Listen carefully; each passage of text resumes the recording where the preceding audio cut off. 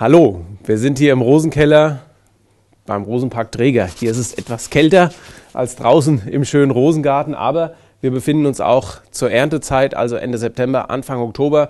Wir haben hier die wurzelnackten Rosen direkt von dem Feld zu uns in den Rosenkeller gefahren. Wir haben ja so eine Temperatur von zwei bis drei Grad in etwa und eine sehr hohe Luftfeuchtigkeit. Das ist wichtig, dass die Rosen eine gute Qualität behalten. Und apropos Qualität, wir haben hier als Beispiel eine wurzelnackte Rose mit drei Trieben. Das bedeutet, das wäre eine A-Qualität, die wir dann so zu Ihnen nach Hause versenden.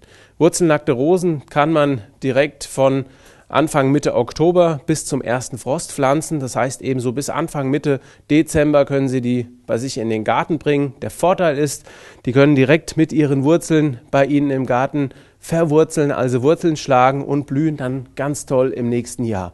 Wem es im Herbst jetzt zu kalt ist oder zu frisch, der pflanzt sie einfach im Frühjahr, denn wir überwintern diese Wurzelware dann bis zum nächsten Jahr im Frühjahr. Das heißt, Sie können die auch dann, sobald der Boden es wieder zulässt, ab Anfang März bis Mitte, Ende April auch noch bekommen und können diese dann direkt bei Ihnen in den Garten pflanzen, die dann sogar auch noch im gleichen Jahr blühen werden.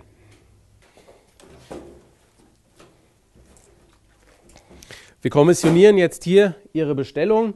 Das heißt, das ist eine Auswahl von Rosensorten, die Sie sich aus unserem Sortiment ausgesucht haben. Hier haben wir jetzt vier tolle Pflanzen, von der Zwergrose bis zur Kletterrose ist alles mit dabei.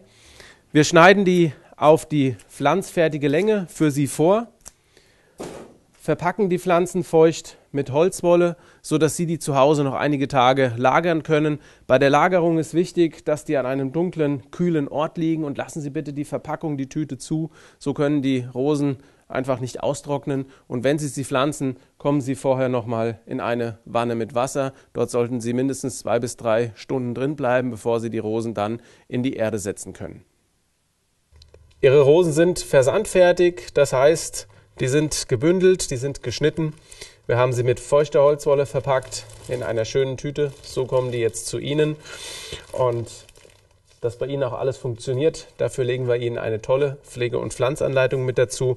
Hier sehen Sie alle einzelnen Schritte vom Auspacken des Paketes bis letzten Endes zum fertigen Pflanzen, ähm, ja, sodass Ihre Rosen im nächsten Jahr toll bei Ihnen im Garten blühen. Die Rosen kommen direkt aus dem Rosenkeller in die Tüte feucht verpackt. So sind sie versandfertig und fast direkt auf dem Weg zu Ihnen. Das Einzige, was noch fehlt, Sie kommen hier in diesen schönen Karton mit rein. Hier haben wir noch unser Basic zum besseren Anwachsen. Und so geht der Karton in die Verpackung.